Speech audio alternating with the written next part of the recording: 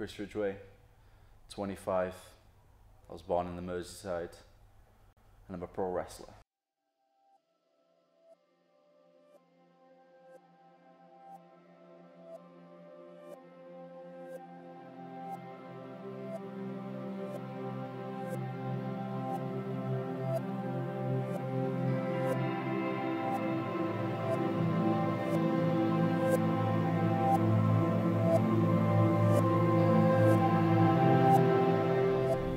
I started combat sports because I was a was a little kid.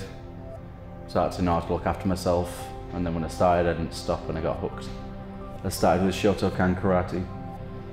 Uh, I moved on to boxing, kickboxing, Brazilian jiu-jitsu, and did catch wrestling along the way. I was training pro wrestling sporadically throughout 2012, 2013. I made my debut in 2014, but I was mainly trained under Johnny Moss. Basically, when I first started wrestling, I didn't really know what I was or who I was. I just wanted to be a pro wrestler. So I was just doing what people were telling me. And then a few people pulled me to the side every now and then and told me I should be using my uh, knowledge in combat sports within pro wrestling.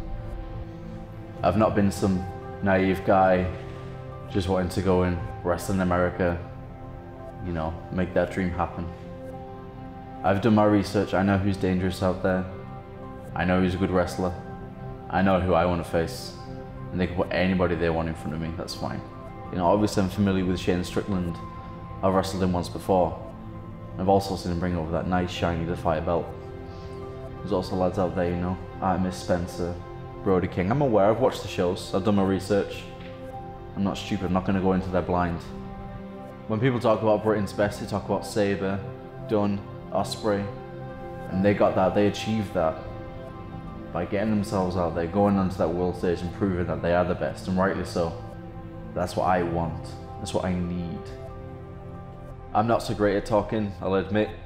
I'm not so confident with these cameras, not that good at Twitter, but I am great at tapping people out and kicking people really bloody hard.